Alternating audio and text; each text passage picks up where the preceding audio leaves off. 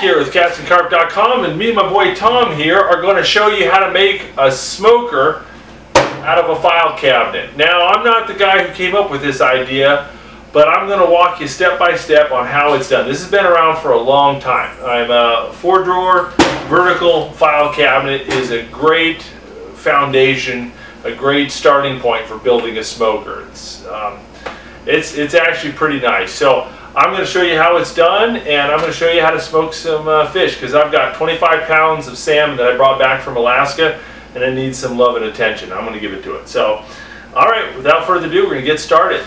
All the items you need to build this smoker are listed in the description of this video, including links and prices.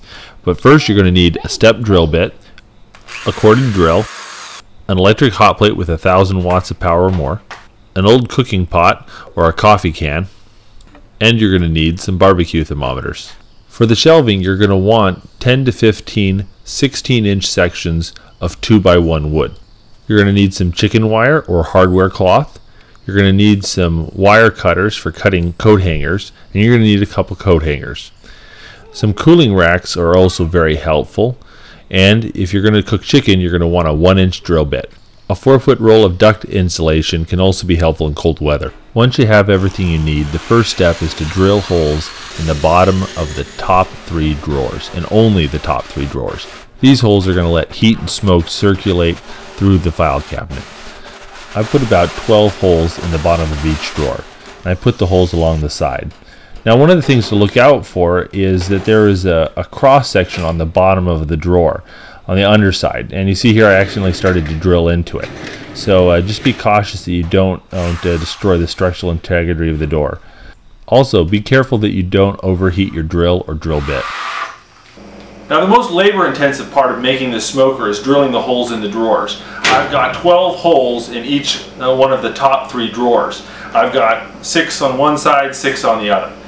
This uh, doesn't take that long. I mean you could get it all done in 45 minutes without too much of a rush except that my drill keeps overheating. Right now it is hot to the touch. I mean, that's not good for the drill. you will destroy your drill that way. So um, if you had two drills where you could switch them on and off and let one cool down while you're using the other one, uh, that would help, but I only have one drill, so I'm doing six holes, then I have to let my drill sit for about 10-15 minutes, and then I do six more holes and I have to let it sit, and, and it's uh, that's taking the most time is letting the drill cool off. So anyway, if you have two drills, it'll go a lot faster.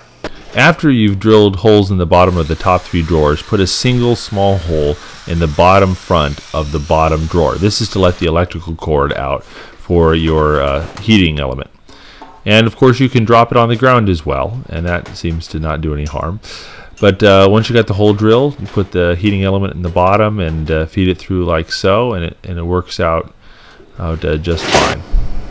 Next I'm going to install the thermometers in the side of the file cabinet.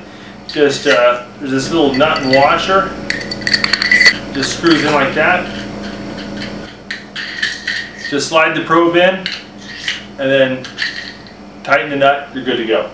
Easy as can be as you can see here I'm installing four thermometers one on the side of each drawer I put it on the side because that's going to be a more re representative reading if it's too far the back too far the front um, it starts to, to get a little off um, and also I want to be able to measure the temperature in each drawer because the temperature is different in each drawer.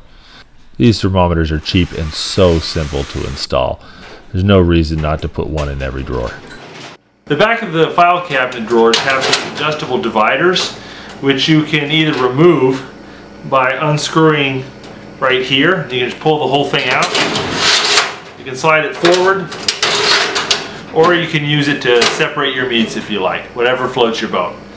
One thing to look out for, when you drill the holes for the thermometers, make sure that the hole is higher than this, so that when you open and shut the drawer, this doesn't whack into the probe, which is sticking about this far into the file cabinet.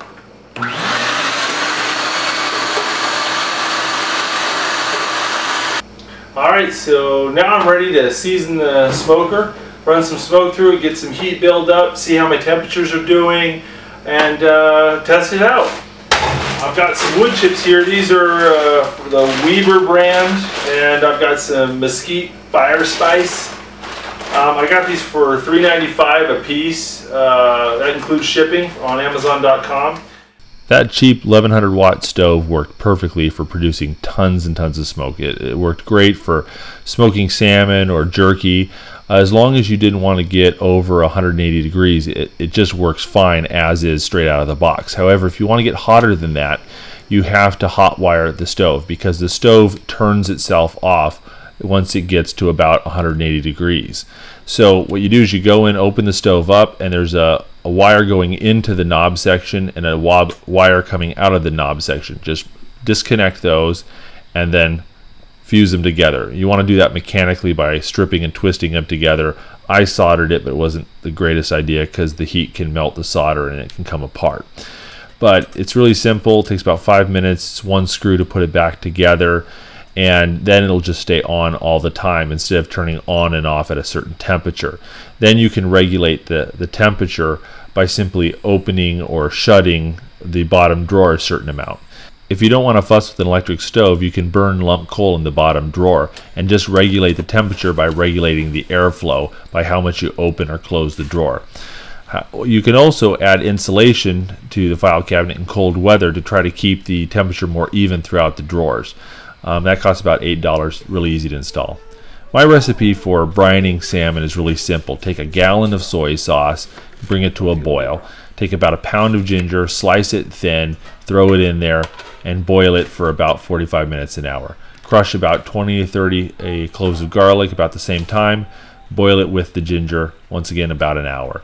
Add 4 cups of sugar and add a gallon of water, and then you're good to go after it's boiled for the hour, you want to go ahead and take out all the cloves and ginger so it doesn't get too potent while it sits overnight.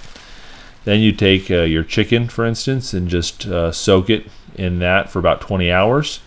And, or you take your salmon. In this case, I had 25 pounds of frozen salmon and just put it in a big pot as tightly as you can. Cover the whole thing in the teriyaki sauce, the brine and just make sure it's floating and let it sit for 20 hours. For short ribs, I like to marinate them in Korean kalbi sauce. Uh, it's a great Korean marinade you can get at the Korean supermarkets. It's a nice thick uh, Korean barbecue sauce.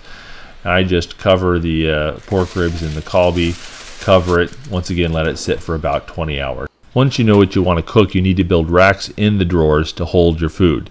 For drumsticks, I use the 2x1s and put a 1 inch hole right on the edge of the 2x1. I insert it into the top of the drawer and then I can hang the drumsticks by the joint from the stick. You want the 1 inch hole to be close enough to the edge that the opening is about half an inch. That seems to be about perfect. And once again, you make it exactly 16 inches so it slides right into the top of the drawer. And as you can see, it works like a charm all the drumsticks slide in and they hang upside down like that. It's really, really a great way to do it. Uh, pretty easy to make. Shelving in any smoker needs to be versatile and easy to adjust because you're usually not cooking the same thing every time. So if you want to cook more chicken or less chicken or more fish, then you need to be able to adjust the shelving without too much fuss. So here's my system for doing that pretty much take a coat hanger and string it across the top of the drawer and put a cooling rack on top of it and a cooling rack underneath it. That's how I do my uh, pork ribs. Really super simple. Um, as you can see, you just want to keep the pork ribs off the ground, off the bottom of the drawer so the air can circulate underneath and the smoke can get all around it. And uh, the little piece of coat hanger strung across the top easily supports the cooling rack and another uh, set of ribs uh, which you baste liberally in Kalbi. And then for the salmon, I take some hardware cloth and I fold it over a couple times and I put it on the bottom of the drawer enough so that I can put salmon fillets skin down and there's space for air and smoke to circulate underneath them. Then I take 2 by one 16 inch sections, put it on the top and another layer of chicken wire hardware cloth and I've got a second layer in the drawer so I can fit even more salmon in there and that works really well. It's easy to take in, really easy to take off. And uh, in this uh, setup, this time I had two drawers with just salmon. And as you can see, 25 pounds of salmon fit pretty easily in two drawers. So the top drawer, I put the thickest pieces of salmon that needed to cook the longest. And then in the second from the top drawer, I put the thinner pieces of salmon that could cook at a higher heat. And then on the bottom drawer, I put two racks of pork ribs and about 12 uh, chicken drumsticks. And of course, in the bottom drawer, had my element. Turn that bad boy on, and it starts smoking up a storm. Had this thing smoking for 18 hours in total and uh, Tommy even helped me out.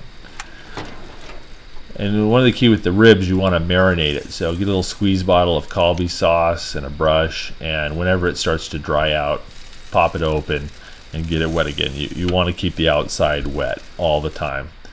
And that's uh, make sure you get both sides, and don't forget the one on the bottom rack. Uh, either use a meat thermometer or a, a little sampling method to tell when it's done the pork ribs got done uh, first for me, but how long it takes to cook really depends a lot on weather conditions, how much heat you use. It really varies a lot. And uh, my first uh, pork ribs in my file cabinet smoker, they turned out all right. I'm no pit master, but they were okay. The uh, chicken took a little bit longer uh, because it was uh, closer to the uh, doors entrance, a little bit cooler spot but they worked out just fine and really nice deep rich smoky flavor and they came out looking really really beautiful once I removed the pork and chicken I lowered the temperature so that the bottom drawer was nice and cool for the salmon now the, ideally the bottom drawer is about 180 degrees which makes the top drawer about 125 degrees which is a really good temperature for smoking salmon I did about 18 hours for this salmon and it wasn't overdone by any stretch of the imagination. Um, the salmon starts looking brown and starts to toughen up. The thinner fillets uh, start to get kind of firm and easy to pick up. The thicker fillets kind of fall apart. It's perfect, absolutely gorgeous. And the ones on the second drawer from the top got a little bit better done, which I like, and just absolutely gorgeous. Oh, oh that's good. Hmm. Oh, that's good salmon. If you like that video, don't forget to check out some of our other videos, including how to make a great channel catfish bait with jello and hot dogs, and six of my best bank fishing hacks. If you like what you see, don't forget to hit subscribe. Thanks for watching.